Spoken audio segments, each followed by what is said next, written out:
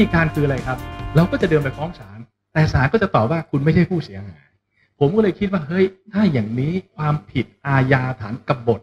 ตามปอาญามาตรา113ต้องเขียนเป็นกรณีพิเศษว่าผู้เสียหายคือประชาชนผู้มีสิทธิเลือกตั้ง เขียนแบบนี้อ่าวศาลจะบอกไม่รู้เสียหายได้ไงก็ผมเขียนเลยว่าประชาชนผู้มีสิทธิเลือกตั้งเป็นผู้เสียหายในความผิดฐานกบฏทั้งหมด เดินไปฟ้องเลยครับ แล้วศาลเดี๋ยวรับไปอ้าวอ๋อเหรอรับ กว่าจะตัดสินโอ๊ยสองเดือนถัดมานี่เราโทษกรรมแล้วตัดสินไม่ได้อีกแล้วนี่เราโทษกรรมแล้ว ดังนั้นคดีนี้ต้องเขียนลงไปอีก พิจารณาคดีแบบเร่งด่วนเป็นคดีพิเศษเลยเอา 24 ชั่วโมงเอาก็มันยึดอำนาจตรงนี้แล้วเนี่ยนึกออกไหมครับคราวนี้ผมจะดูศาลจะออกยังไงอะศาลคุณจะออกยังไงแบบนี้ ที่ผ่านมาเนี่ย เรามักจะเดินไปฟ้องศาลศาลบอกคุณไม่ใช่ผู้เสียหาย แล้วแล้วพอถัดจากนั้น มีการฟ้องกันอีก มีการนิรโทษกรรมแล้วคราวนี้ศาลจะหยิบมาตรานิรโทษกรรมมาใช้แทนนะเพราะเทคนิควิธีนี้ต้องคิดขึ้นมา นอกจากนั้นแล้วนะครับอันหนึ่งที่ต้องปักธงเอาไว้นะครับ ก็คือว่า เราต้องยืนยันให้ได้เขียนลงเป็นรัฐมนูลมาตราสุดท้ายในรัฐมนูลฉบับใหม่ที่อนาคตเราฝันจะได้กันเนี่ย เขียนให้ได้ว่าการยึดอำนาจเนี่ยนะครับ เป็นความผิด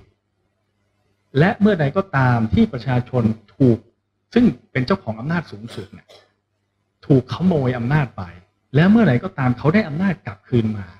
ให้ริเริ่มดำเนินคดี ผู้ขโมยอำนาจประชาชนนั้นเนี่ยผู้คนยึดอำนาจเนี่ยคนก่อรัฐประหารนะทันทีโดยไม่มีอายุความนะครับ เขียนปากเอาไว้นะครับ สิทธิและหน้าที่ของพลเมืองไทยทั้งหมดนะครับ มีหน้าที่ในการต่อต้านการรัฐประหารนะครับ ต้องเขียนเอาไว้ให้ชัดทุกวันนี้เขียนบอกว่าต่อต้านแบบสันติวิธีนะฮะ โอ้โหรถถังมาเป็นขบวนเลยคุณไปต่อสันติวิธีนะฮะเรื่องนี้จะต้องปักเอาไว้ให้ชัดนะครับ แล้วก็ผมเรียนจริงๆนะว่า เรื่องที่ผมพูดไปเมื่อสักครู่เนี่ยทั้งหมดเนี่ยนะครับ ไม่ใช่เรื่อง โอ้โหแรงอะไรเลยนะครับ มันเป็นเรื่องปกติ เรากำลังจะเอาความปกติกลับมาสู่สังคมไทย คนใดก็ตามที่บอกว่าวิธีการที่ผมพูดไปเนี่ย รุนแรงอันตรายขัดแย้งนะครับ แสดงว่าเขาอยู่ในมุมของฝ่ายเผด็จการครับ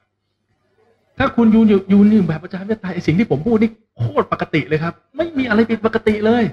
ถูกไหมฮะคือเอาถามทุกคนไม่ชอบยึดอำนาจใช่ไหมไม่ชอบรัฐประหารใช่ไหมชอบประชาธิปไตยใช่ไหมอยากให้รัฐมนูลเป็นกฎหมายสูงสุดจริงใช่ไหมไม่อยากให้มีรัฐธรรมนูญคู่ขนานใช่ไหมทุกคนบอกใช่หมด แต่พอผมเสนอวิธีการบอกเฮ้ยรุนแรงไป อย่างนี้ไม่ใช่ นี่คือเรื่องปกติครับ เป็นเรื่องปกติจริง ๆ ดึงสังคมไทยกลับมาสู่ ความเป็นปกติให้ได้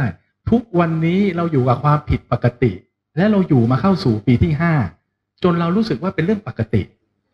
อย่ายอมให้ความคิดนี้ฝังหัวเราเด็ดขาดนะครับ ต้องยืนยันว่าทุกวันนี้คือผิดปกติ